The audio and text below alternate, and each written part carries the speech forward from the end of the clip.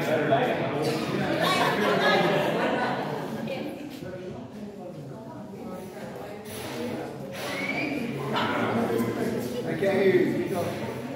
I haven't. Appreciate you. All right, so,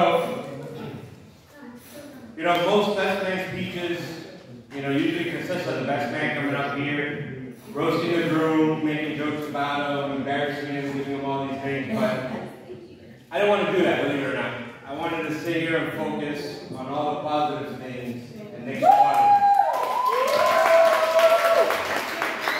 For example,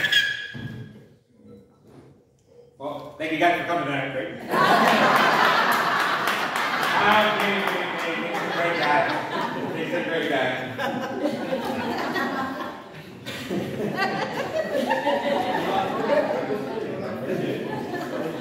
So, Nick and I first met 37 years ago on April 14, 1987. One of the greatest days in human history. I don't remember much of that day because obviously I had a lot going on myself. Like, you see, before you, I had all the G.I. Joes I could ever ask for. All the latest and coolest toys. I was a cool kid that everybody wanted to go over his house and go. And he came and messed with all that shit.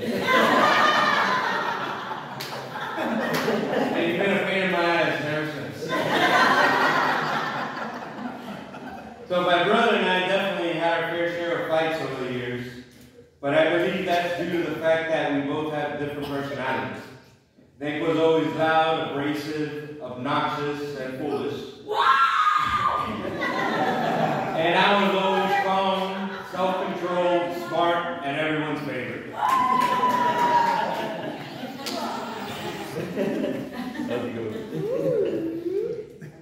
But anyhow, fast forward, I remember Nick calling me one day and says, hey, you know, there's somebody that I need you to meet.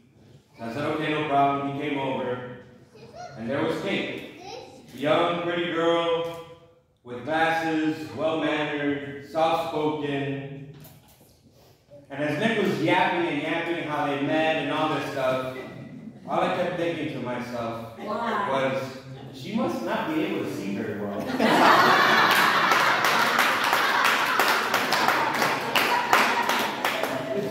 But in all, in all seriousness,